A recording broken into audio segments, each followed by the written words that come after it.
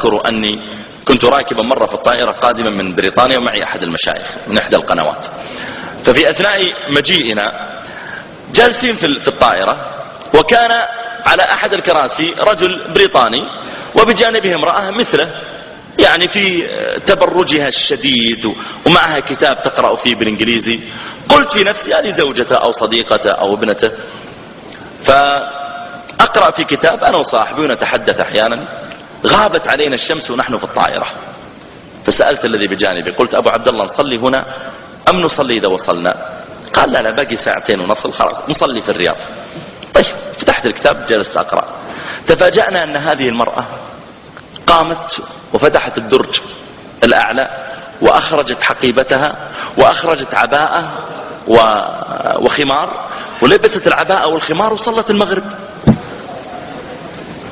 مع أنها شديدة التبرج. قلت في نفسي أشهد أن لا إله إلا الله محمد رسول الله.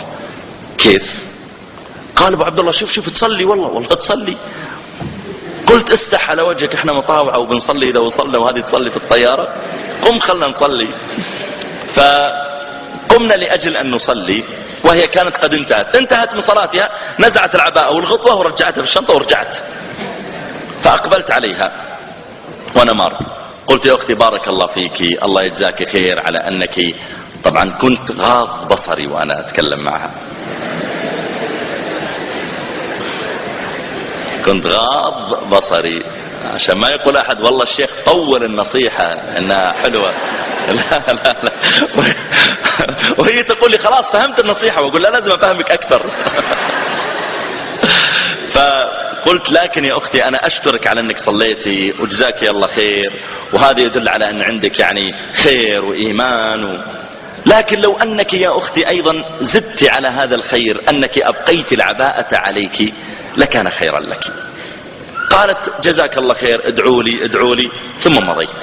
مهما كان الذي أمامك ربما يظهر عليه مظاهر المعصية إلا أنك أعلم أن اعلم أن فيه من الخير ما تستطيع قد يكون فيه تسعون في المئة الشر لكن فيه عشرة في المئة خير. زدها العشرة في المئة حتى تصل إلى خمسين. ولا تقول أنت أصلا فاسق أنت فاجر وتبدأ تنقص العشرة في المئة. زدها لعل الله تعالى نصلحه على يدك